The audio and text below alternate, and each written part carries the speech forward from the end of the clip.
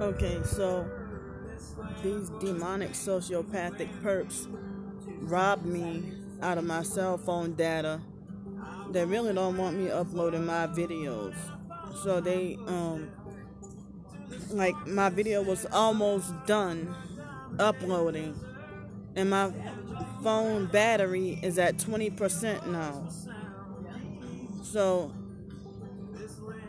I'm so fucking mad right now that they robbed me out of another three gigabytes of my phone data. Like they restarted all over again.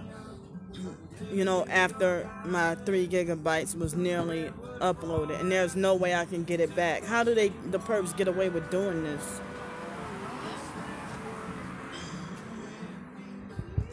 I don't know.